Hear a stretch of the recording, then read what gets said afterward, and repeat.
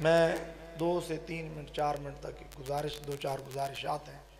वो आपकी बारगाह में और फिर उसके बाद रुदसलाम पढ़ते हैं। पहली गुजारिश ये है कि हम नारा रिसालत लगाते हैं। क्या जी? तो आप क्या कहते हैं उसके जवाब में?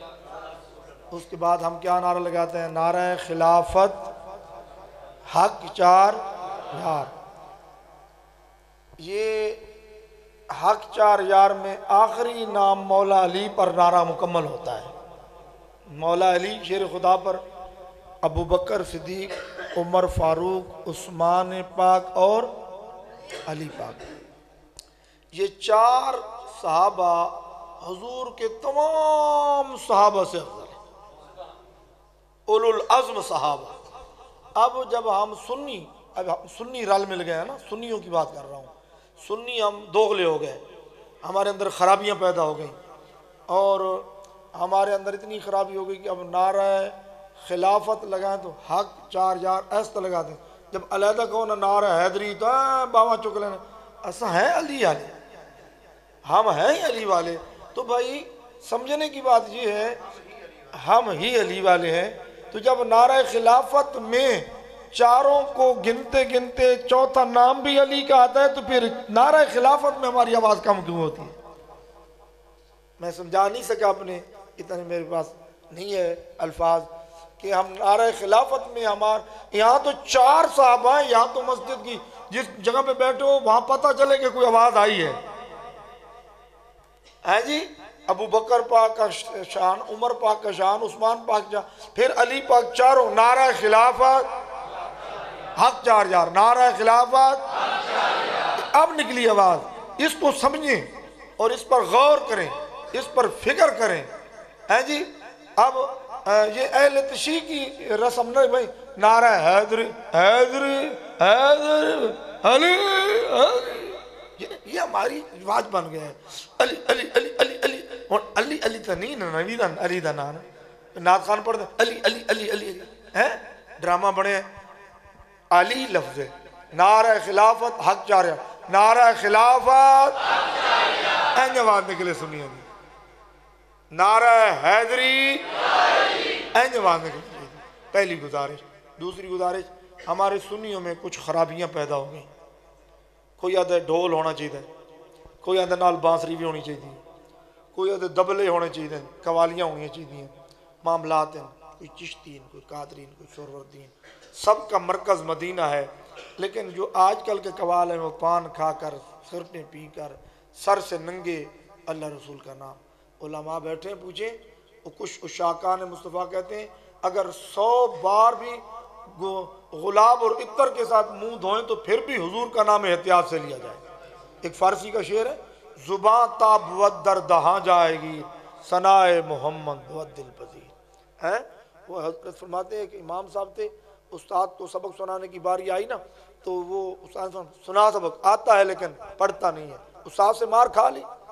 बाद में कहा, जी, मैं वज़ू कर रहा हूँ, वज़ू करने के लिए आए तो अब उस्ताद ने कहा, सबक सुना सुना दिया। क्या तो पहले क्यों नहीं सुनाया? कहा, जी, उस वक्त मेरा वज़ू नहीं था, लेकिन सबक के अंदर मुस्तफ़ा का नाम आता था। इसलिए नात खान, मैं हज़रत की तारीफ़ नहीं, जो हक है वो करनी चाहिए।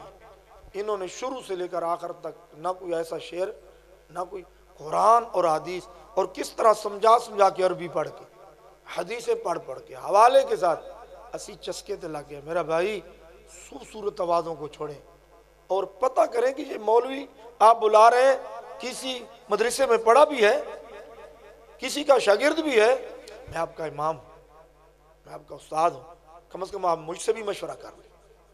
दस हज़ार, बीस हज़ार वो तो किसी मदरसे में जाकर दे दें यार। किसी बेवा गरीब को दे दें।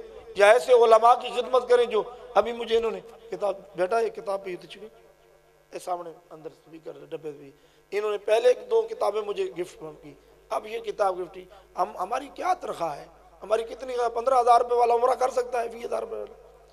चलो हज़रत दो जगह जगह पे जमा चलो चालीस हज़ार, बीस बीस हज़ार लेते होंगे, चलो पचास हज़ार लेते होंगे, चलो पचास हज़ार भी ले, घर का खर्चा मामला बच्चे, फिर आखिर उम्र हो सकता है।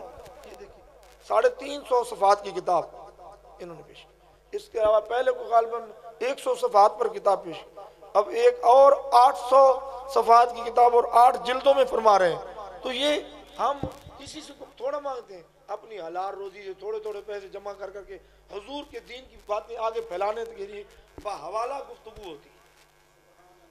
ये चीज़। है इसलिए आपसे इल्तमास है, आपसे इल्तमास है। ये अलामत तयब रशीद साहब ने अब लिखी। इन्होंने अब इस पे किबला सईदुल हसन शाह साहब जैसे आल नबी जो चंदियत उनकी भी तकरीज है। उन्होंने कहा, क्या बात उनका खुलासा मैंने नाम पढ़ा तो उन्होंने यही कहा ना, क्या बात है? हैं? तो आपसे गुजारिश है अब हमारे कुछ मौलवी हज़रत अमीर माविया को बुरा कहने लगे। एक करोड़ का कमीना है, एक चौक मुंडे का गंदा है, दो पिंडी के पलीत हैं और एक भिक्की शरीफ में पैदा हो गया है और एक लाहौर का खंजीर है। उसका नाम जहूर है। हमें किसी का खौफ नहीं है। अल्लाह से डरना चाहिए। अब मैं एक जुमला अर्ज़ कर दूँ कि हज़रत इमाम हुसैन के साथ किसने जंग की थी? यजीद ने। तो अब यजीद ने इमाम पाक को सताया तो यजीद ने हुसैन से दुश्मनी की, हमारी यजीद से दुश्मनी। बुखारी में हदीस है, हज़रत बैठे हज़रत नबी करीम सल्लल्लाहु अलैहि वसल्लम ने फरमाया, मेरा ये बेटा हसन सरदार है, और ये दो ग्रोहों में सुलह कराएगा और याद रखें, हज़रत अमीर माविया रदी अल्लाह तसाबी रसूल हैं, कातिब वही हैं, और आप उम्मत के मामू हैं। और आप रज़ी अल्लाह तु और अली का जो इख्तलाफ था, ये जंग दुश्मनी नहीं थी। मेरे लफ्ज़ों पे दो लफ्ज़। इन दोनों हस्तियों की दुश्मनी नहीं थी, इनका एक मसले पर इख्तलाफ था। तो इख्तलाफ आगे चला गया, लेकिन हज़रत अमीर माविया रदी अल्लाह भी ये फरमाया करते थे, अली हक पर है। एक आदमी की हज़रत अमीर माविया में अपनी मुलाजमों में एक आदमी का एक दस दिरम तनख्वाह बढ़ा दी। तनख्वाह बढ़ाई तो उसने कहा, हज़रत अमीर माविया की शान बयान की, कहा, देखें, हज़रत अमीर माविया ने तो हमारी तनख्वाह बढ़ा दी, अली भी बढ़ाते होंगे। तो हज़रत अमीर माविया को पता चला फरमास को बुलाओ, कहा, तेरी ज़रूरत कैसी हुई तो अली की गुस्साखी करे।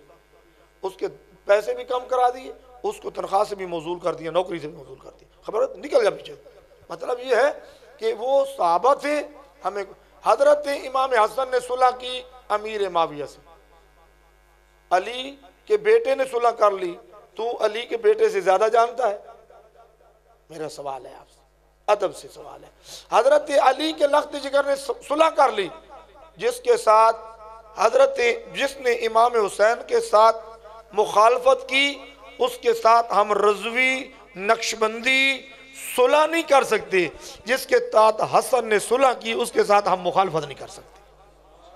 अल्लाह करीम आपकी और मेरी हाजिरी कबूल फरमाए।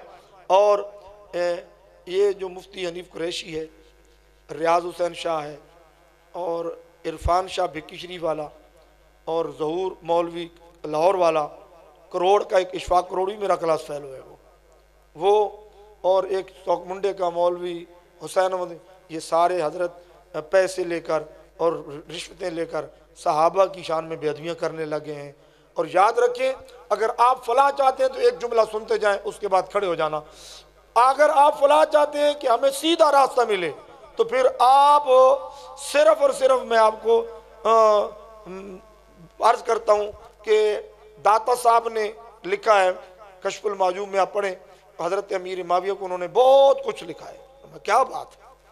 हज़रत पीर मेहर अली साहब ने, हज़रत गौस पाग ने, अगर जो अमीर माविया की आप लोग मौलवियों की सुन के मुखालफत करेंगे तो दाता अली अजवेरी ने तो अमीर माविया की तारीफ़ की है, फिर दाता की मुखालफत होगी कि नहीं? गौस आज़म की मुखालफत होगी कि नहीं? मेहर अली की मुखालफत होगी पता नहीं, मौलवी अंधे हो गए, पैसे पर ईरान के डॉलर, इंडिया के डॉलर, ये डॉलरों पर मर गए।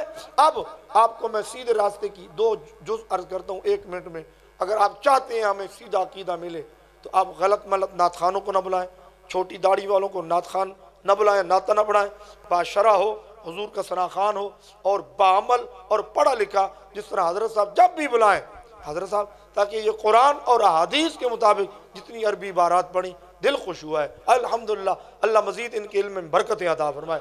और आप फलाह चाहते हैं तो आला हज़रत अजीमबरकत इमाम अहल सुन्नत अशाह इमाम अहमद रज़ा।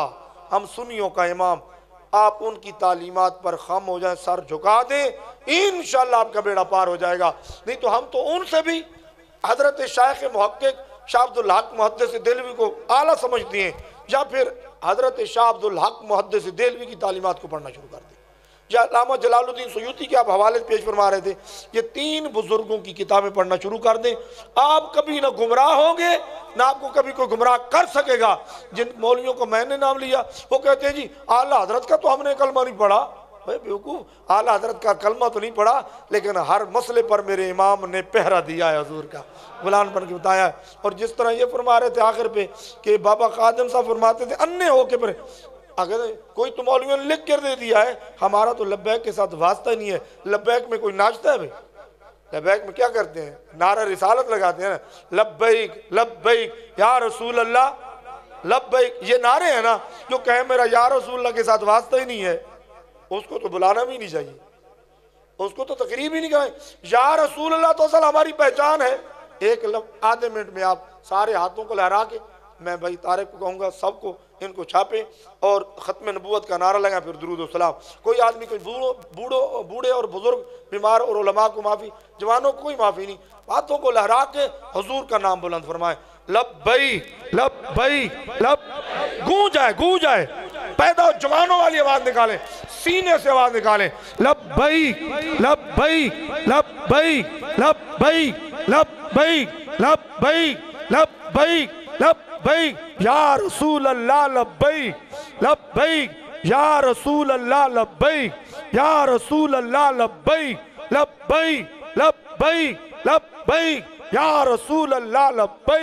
सलामत रहिए। इस तरह नारा खत्म नबूत का लगा के खड़े भी हो जाए, नारा भी लगाएँ, हाथों को लहरा के, ताजदार खत्म नबूत मोहब्बत से। ताजदार खत्म नबूत